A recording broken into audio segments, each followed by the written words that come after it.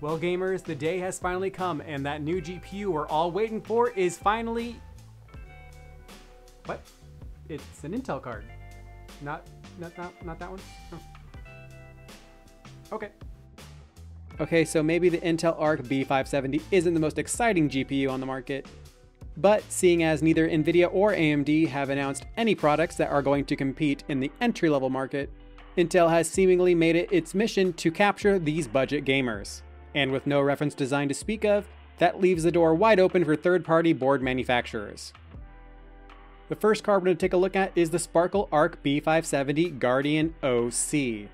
This card sports a 160 MHz overclock, is 24 centimeters long, weighs 788 grams, and is 45 millimeters wide, which is just over two slots. And as for power, both of these cards use a single 8-pin connector. The other card we're looking at is the ASRock Arc B570 Challenger OC. This card comes with a similar two-fan design with a 100 MHz overclock. This card is a little bit longer than the Sparkle at 25 centimeters, weighs a little bit less at 720, and is a little bit thinner at 40 millimeters wide. This card does have LED lights, but there is a physical toggle switch if you want to disable them. Moving on to our test system, we're now using an AMD Ryzen 7 9800X 3D paired with an MSI X870E Carbon, running 32GB of Thermaltake Tough XG memory at 6200 MHz, while running the latest drivers from Intel on Windows 11. And taking a look at the 1080p results, and we can see that both cards are a little bit faster than the outgoing ARC A770 while the current flagship for Intel, the B580, is about 14% faster. The ASRock and the Sparkle produce the same level of performance despite the small on paper advantage of the Sparkle, and we found that both cards boosted their clock speeds past their rated amounts and in the end are effectively the same. Moving over into ray tracing and at 1080p, both cards produce a like for like experience to the RX 6700 XT and a similar performance to the RX 3060, but that does mean the ARC A770 is 10% faster, while the B580 is 27% faster.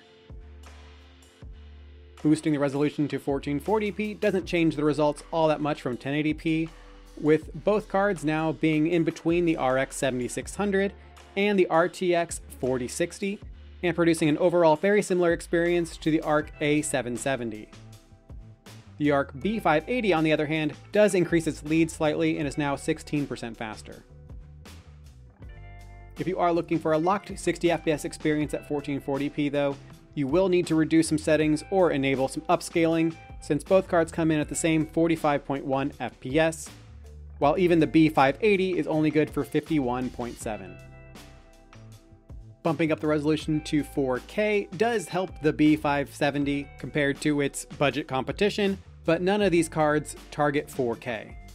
That being said, both B570s are now faster than the RTX 4060 and give the same overall experience as an RX 7600 XT, with the A770 being 3% faster and the B580 being 19% faster.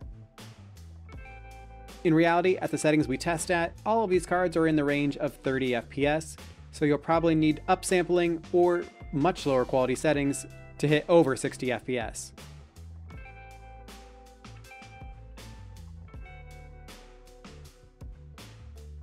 So the B570 produces about 15 to 20% less performance than its bigger brother, the B580. So what about power consumption? Well then it really shouldn't surprise you that it uses 15 to 20% less power to do so, using only 155 watts while gaming. And when locked at 60 Hz, it does use a little bit less power than the B580, only using 94 watts. This does make it the most efficient card that Intel has yet released, though it still has a ways to go to take the efficiency crown from Nvidia or even AMD. We're most of the way through this video and we have yet to see a meaningful difference between the Sparkle and the ASRock card, but we have finally found that in the form of fan noise. The Sparkle comes in at a respectable 30.3 dBA when loaded, but the ASRock does do substantially better at 24.7. The script does flip though when we normalize for 35 dBA, with the Sparkle Guardian ever so slightly edging out the ASRock Challenger.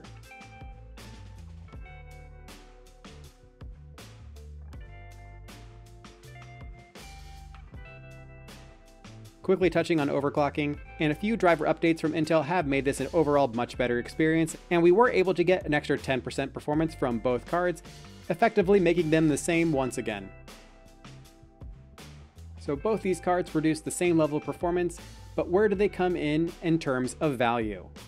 Intel's last card, the B580, was a great deal, assuming you could get it at MSRP.